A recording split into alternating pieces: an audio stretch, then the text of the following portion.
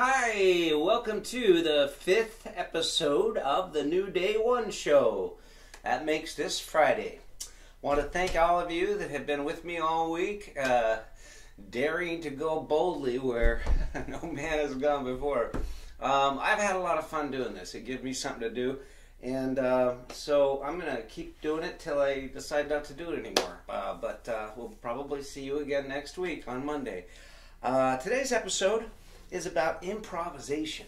Now, I've actually been improving each one of these shows, and I know you probably knew that because uh, it didn't sound probably like I had scripted the show. Now, I did rehearse my improvisational bit uh, sometimes five or six, seven times. Um, I think there was one show this week I did in two takes.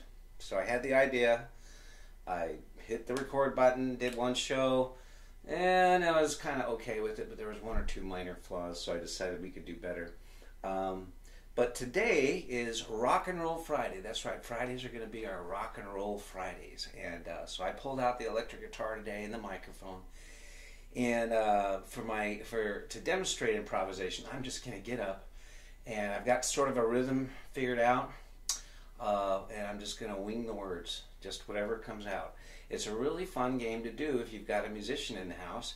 Is just come up with a song that you all know, you know, a real simple thing, three chord thing, and then uh, you each take turns trying to come up with a, a verse for it. And uh, it's uh, really good for the mind to do that anyway, because that, that thinking on your feet is definitely a real skill that one can develop, even if they don't have it.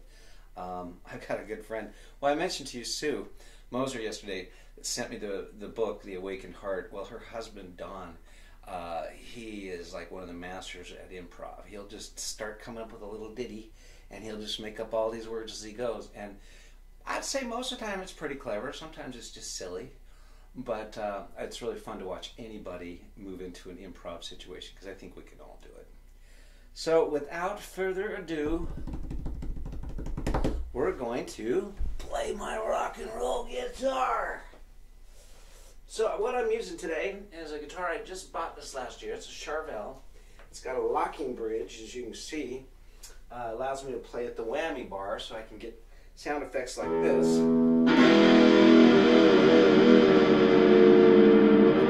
So it's a lot of fun. And um, so this is called The Ballad of the Man Who Had to Stay at Home. Hope you like it. Hey,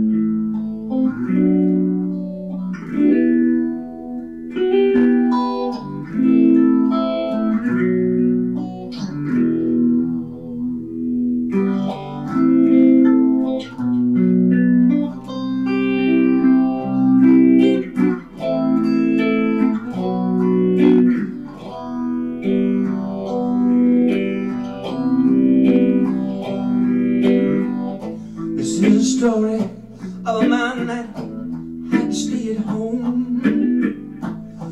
He couldn't do much, but maybe talk on the phone. Couldn't go outside and play with his friends. He's gotta stay inside this virus